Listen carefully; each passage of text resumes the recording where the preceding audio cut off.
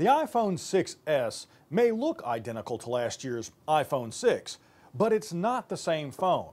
As with previous S models, Apple put most of the changes on the inside, and you know what that means.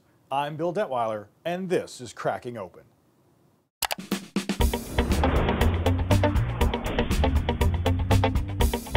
Hold an iPhone 6 next to an iPhone 6s, and you'd be hard-pressed to tell the two apart. Like the previous model, the 6S measures 5.4 inches tall and 2.64 inches wide.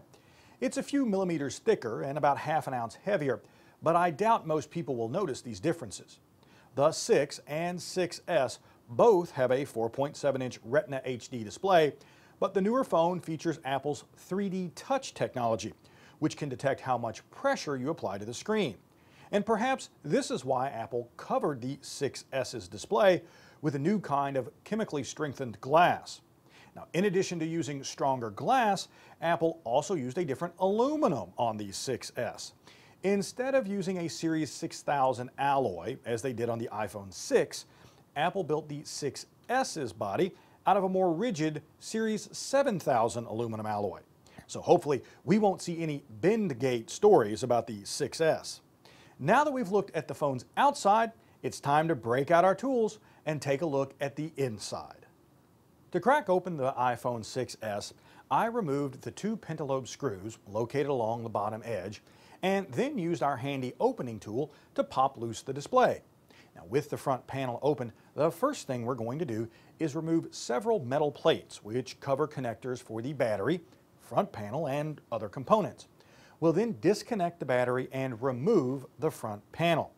Now, the overall hardware layout is the same as on the iPhone 6. There's a speaker and lightning connector assembly at the bottom, battery along the left side, motherboard along the right, and the camera assembly at the top. One change we can see, however, is Apple's new Taptic engine. Sitting below the battery, it replaces the older phone's vibration mechanism and is slightly larger, which means the speaker next to it needed to be just a bit smaller. Also smaller, at least in terms of capacity, is the 6S's battery, which is rated at 1,715 milliamp hours compared to the 6S's 1,810 milliamp hours. Now, despite this reduction, Apple claims battery life on the 6S will be the same as it was on the older phone. Turning our attention to the new front panel assembly, we find the new 3D Touch display, a 5 megapixel FaceTime camera, which is an upgrade over the older phone's 1.2 megapixel unit, sensors, an earpiece speaker, and the improved home button. While I would usually remove the battery as part of our teardown, I'm going to leave it in place as I remove the other components. Now this will keep me from having to glue it back in later. Now the first component to come out is the new iSight camera, which has been upgraded to 12 megapixels and can now shoot 4K video at 30 frames a second. A small antenna comes out next, and then after removing a few screws, dealing with a new hex head standoff, and detaching the remaining connectors, we can lift out the motherboard. Now unfortunately, the shields that cover the iPhone 6s's motherboard are soldered in place, obscuring our view of the new A9 processor and M9 Motion coprocessor that's built in, and most of the other chips. As I want to put this phone back together in working order, I'm going to leave the shields in place.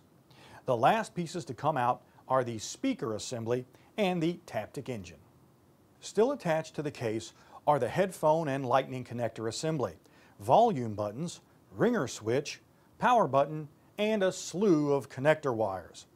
Most of these components are held to the case with both screws and adhesive.